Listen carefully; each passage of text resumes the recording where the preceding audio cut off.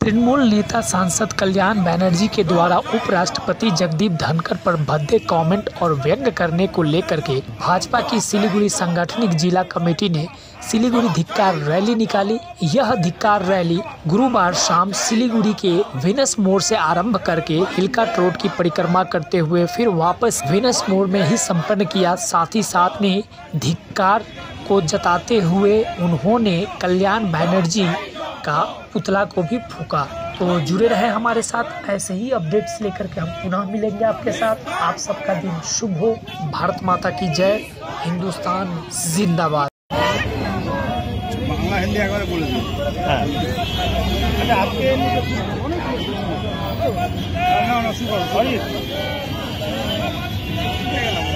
বাংলা এই যে আজকে পথে মানে আইএনডিআই যে জোটের এগেন্সে যে অভিযোগগুলো তো কি অভিযোগ? আপনারা জানেন যে দেশ জুড়ে একটা বিরোধী শক্তিরা ইন্ডি জোট নামক একটা পিন্ডি গঠন করেছে।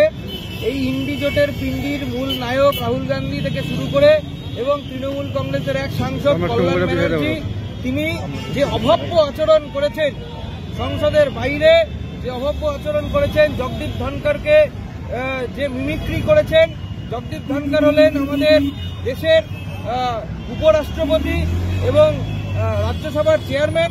উনি সেই জায়গায় দাঁড়িয়ে ওনার মতো একজন সাংবিধানিক পদাধিকারী মানুষকে যে যে নোংরাভাবে যেভাবে আক্রমণ করা হয়েছে কল্যাণ বন্দ্যোপাধ্যায় এবং রাহুল গান্ধী তাদের নেতৃত্বে, এটা আমরা ধিক্কার জানাই। আর সেই ধিক্কার জানিয়ে আজকে শিলিগুড়ি ভেনাসপট থেকে ভারতীয় জনতা যুব মোর্চার পক্ষ থেকে আজকে একটা বিক্ষোভ র্যালি আমরা করতে চলেছি এবং সেখানতে আমরা সবাই সমবেত হয়েছি। ঠিক আছে।